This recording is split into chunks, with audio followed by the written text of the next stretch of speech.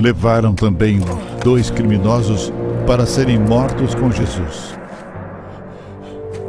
Quando chegaram ao lugar chamado A Caveira, ali crucificaram Jesus e, junto com ele, os dois criminosos, um à sua direita, outro à sua esquerda.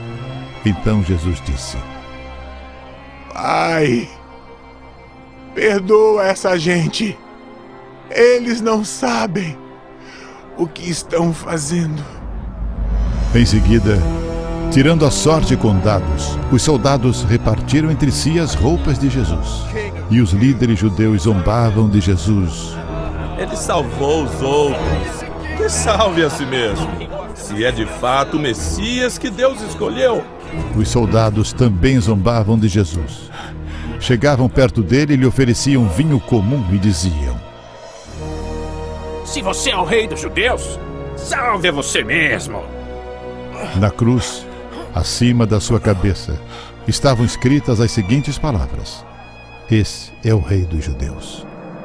Um dos criminosos que estavam crucificados ali insultava Jesus. Você não é o Messias?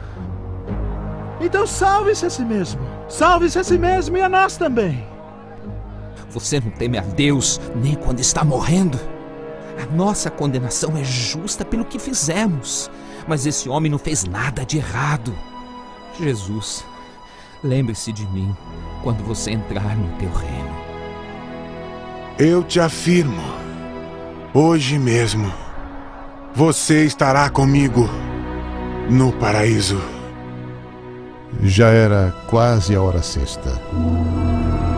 E escurecendo-se o sol, houve trevas sobre toda a terra até a hora nona. Então Jesus clamou em voz alta: Pai, nas tuas mãos eu entrego o meu espírito. Dito isto, Jesus expirou. E rasgou-se pelo meio o véu do santuário.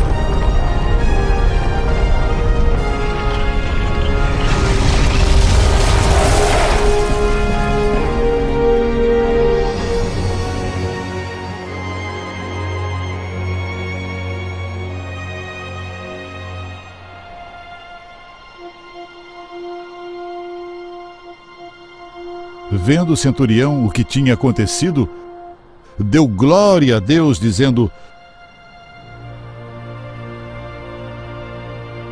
Verdadeiramente este homem era justo.